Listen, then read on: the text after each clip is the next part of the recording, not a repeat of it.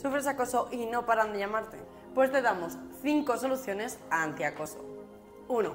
No coger el teléfono a la entidad. Si llevas identificando su número, evita cogerles el teléfono. De esta forma irán reduciendo el número de llamadas. 2. Bloqueo de llamadas.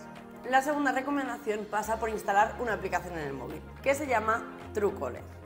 Esta aplicación lo que te permite es ir bloqueando los números de teléfono desde los que llaman estas entidades.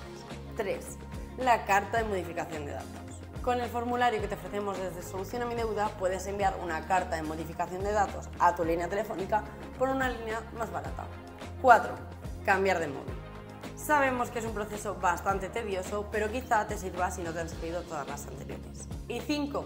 Denunciar por acoso. ¿Pero se puede denunciar por acoso? Existen cuatro posibilidades en las que sí puedes denunciar. Primero, cuando te amenacen o te humillen por teléfono u otros medios. Segundo, cuando te manipulan a través de aplicaciones de mensajería instantánea. Tercero, cuando utilizan tus datos personales y causan un perjuicio. Y cuarto, cuando la cosa se extiende a tus familiares o personas de tu entorno de las cuales no has facilitado sus datos. No dejes que ellos puedan contigo. Nosotros te ayudamos.